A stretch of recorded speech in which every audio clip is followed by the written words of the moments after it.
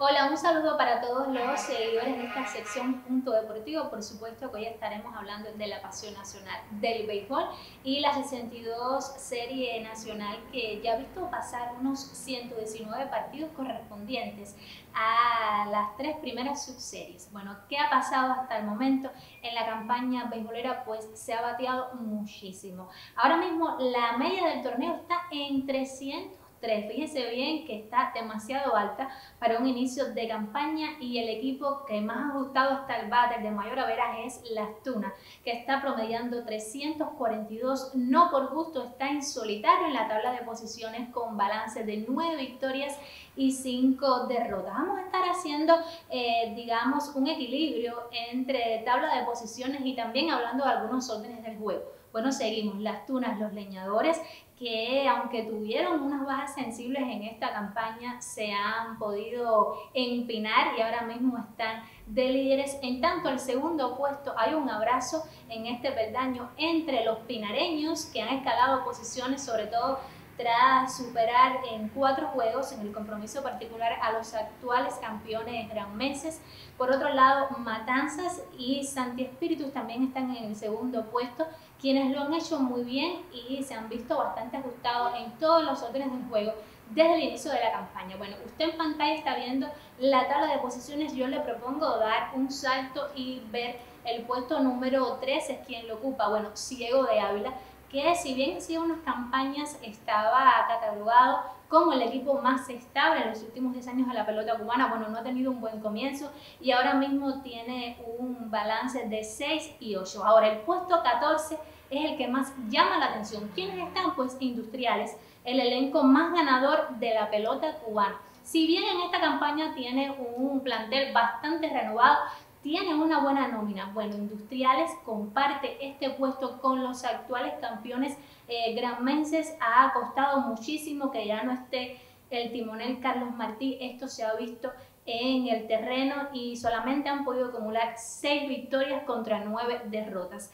El equipo más sotanero viene siendo Cienfuegos, lleva varios compromisos así, con un balance adverso de 5 victorias y 10 derrotas. Seguimos en los órdenes.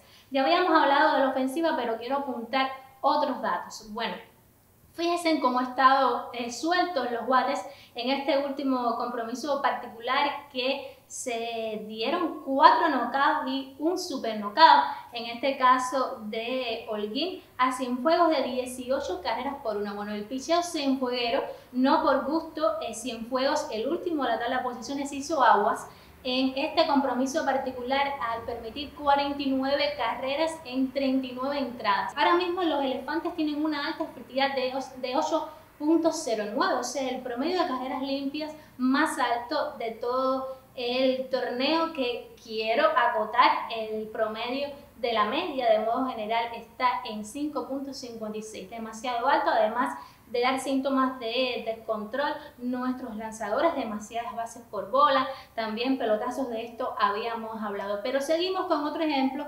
sobre la ofensiva que nos habla de un maltrecho o picheo.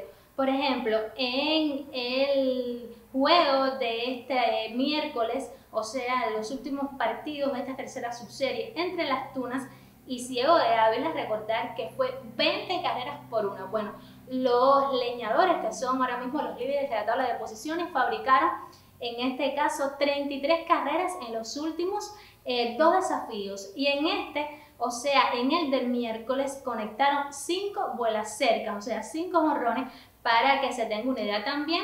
Otro que estuvo muy ajustado fue el toletero Denis Laza, el mayabaquense, en este quinto juego ante eh, Santiago de Cuba, que pudo conectar dos cuadrangulares, uno dentro del cuadro y otro también con la casa llena. A la defensa quería referirme, bueno, se siguen cometiendo muchísimos errores, 86 en 39 enfrentamientos y ahora mismo el averaje defensivo está bastante bajo en 969. Yo eh, quiero seguirme refiriendo, bueno, el pichón ha estado mal, pero es válido señalar algunas eh, faenas monteculares que han convencido, sobre todo las de Pinar de Río, que como habíamos citado ha escalado posiciones, ahora mismo está en el segundo puesto. Gracias en este caso a los experimentados Vladimir Baños que tuvo una actuación de lujo en ese doble juego del día 10 de abril O sea, eh, Baños quería acotar que cubrió toda la ruta, solamente permitió cuatro sencillos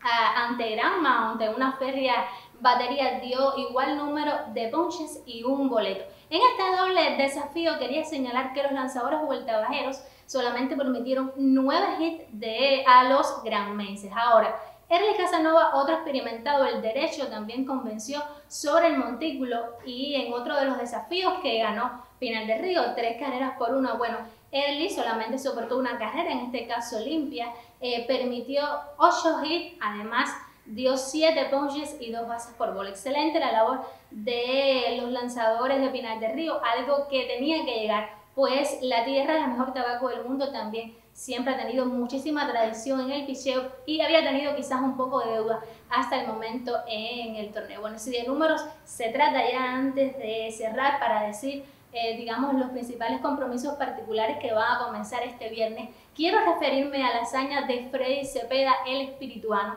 quien consiguió el mismo 10 de abril un récord, en este caso eh, en dobles, al conectar el two-way número 438 y así superar a Michelle Enríquez, el legendario pinero que tenía este récord ya que ha acumulado 437. Bueno, Cepeda, en este caso a la zurda con una línea jardín derecho, consiguió esta marca ante los envíos de un lanzador eh, guantanamero. Muy contentos todos por el resultado de Cepeda, quien ya cuenta con 25 series nacionales eh, acuesta y está en medio de una campaña excepcional.